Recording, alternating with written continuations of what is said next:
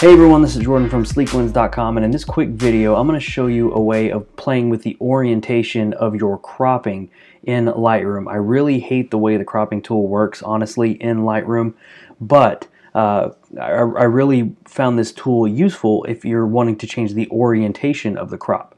So what I mean by that is going to the develop module and going over to your crop tool and I want to make this a vertical crop. So you can see if I try to scale this around and start cropping in, it's keeping the landscape orientation that this photo was taken in.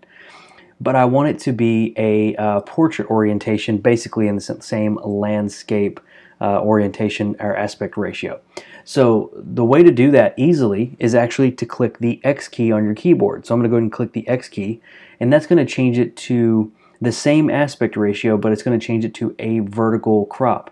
So now I can change this photo up get her portrait right there and then click enter and there we go we've we've changed the aspect ratio or the, the crop of the aspect ratio and it looks a lot lot better so uh, I really really found that uh, shortcut useful especially when you're uh, using uh, it in portrait modes so if you're taking pictures of portraits and you want to easily create that portrait orientation, that's the best way to do it in Lightroom. Thank you for joining me in this quick little video. This has been Jordan from Sleeklens, and I'll see you in the next one.